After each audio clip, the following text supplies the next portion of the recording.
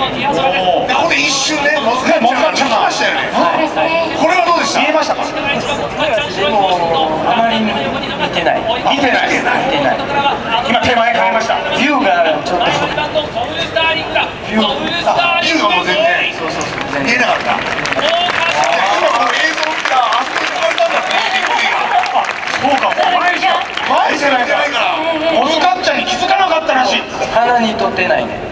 あ花には立ってないんだ。そうかあ我々しばしなのしばしんで一馬身後ろにいした。ばしの後ろでちょっと映像的になんかねちょっともう並んでるようなね。とか思ったんですが一切抜かれていなかったとビデオで合わせみたいけど、全然全然。大丈うん。そのぐらい余裕がありましたね最後ね。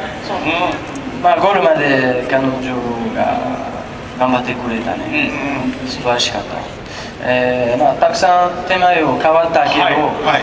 えーゴールまで走りました。もう一伸びしてくれてね。やはり今日の馬場も良かったんですかね。いやとても早かったです。うんうん。少し硬かった。ちょっと硬かっまで 嬉しいですね。ねソウルスターリングがねあのー水曜日の調教の後の共同記者会見で、ね 2400m はどうですかっていうね聞かれた時にうーんいけるかもっていう答えてましたけどもそれがああまりねやっぱちょっと長めなんですかね2400は。2000m ぐらいがベスト。た思います。思います。なるほど。お母さんと一緒ですよね。お母さんも 2000m 2100お母さんは 2000m ちょうどいいでした、えー 2400m 勝った勝ったことあるけど、はいベストは 2000m と、まあ、フランケルはマイラーだったね。1600m の馬だった、1600m だけ。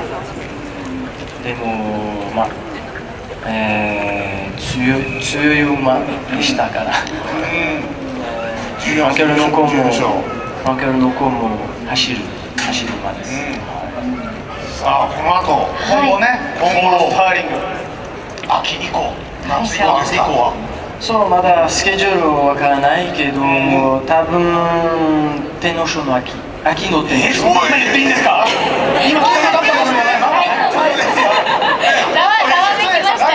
言ってるんですかそのぐらい強い？2000m 2000m 2000m 強いえ牝馬の3歳で挑戦するってすごいレベルってことです週刊賞じゃなくて天皇賞はい。彼は、まあ、飛び大きいと長く足を使うからそうかそうか。多分京都であまりなるほど。えー京都よりも東京の方が合うと。府中でちょうどいいコースですちょうどいい。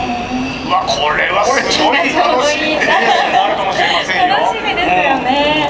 まあでもこれからもう相談ですよねいろいろと。そうですねこれからね。まあどのような形で、えー秋を迎えるのかということですけれども、い、や素晴らしかったですね、はい。まあでもちなみにあのまあ2週連続でこちら来られました、来週ダービーです。ねいよいよダービーですね。また来週ここに行きたいです。3週連続 NHK 来ますよ。ねえ。調教の方はねまたあの今週今週のねレイデオのね2400全然大丈夫ですか？